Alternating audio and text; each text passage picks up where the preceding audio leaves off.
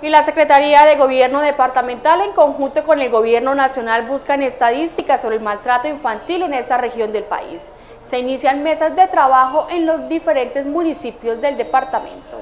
La Administración Departamental y el Gobierno Nacional se reunieron con las autoridades del Departamento de Arauca para analizar el maltrato infantil que se está presentando en esta región del país. Hicimos una reunión eh, junto con el Gobierno Nacional para revisar el alto grado de violencia que hay contra los niños y niñas del Departamento de Arauca. Por instrucciones del orden nacional eh, se ha hablado de varios temas importantes, inclusive de, de, cuál debe ser el trabajo articulado de cada una de las instituciones entre alcaldía, gobernación, unidad de salud. Entonces lo que estamos haciendo es unas mesas que nos permitan avanzar y evaluar semanalmente cómo es el comportamiento del maltrato infantil en el Departamento de Arauca se realizarán unas mesas para buscar las estadísticas o los casos de maltrato infantil que se hayan presentado en Arauca. Ahorita estamos trabajando en ese tema porque consideramos que es muy importante eh, lo que nos aborden esas mesas de trabajo para revisar en qué lugares o en qué municipios y cuáles son donde hay eh, más maltrato. Sin embargo, hemos decidido que durante los próximos días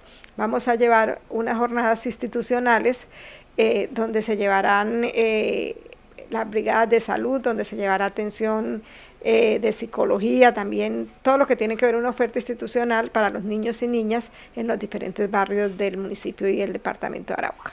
Se iniciará con unas brigadas de salud y serán coordinadas con los diferentes alcaldes de los municipios. Consideramos que debe ser una oferta institucional. La primera que vamos a hacer es en el municipio de Arauca, que será coordinada con la alcaldía eh, los diferentes secretarios de despacho, porque lo que buscamos es articular que no sea un trabajo de un día, sino que sean trabajos continuos de acuerdo a cada una de las dependencias que perduren pues en el corto, mediano y largo plazo. Las personas que deseen denunciar deben de comunicarse con el Instituto Colombiano de Bienestar Familiar Regional Arauca o la Policía Nacional.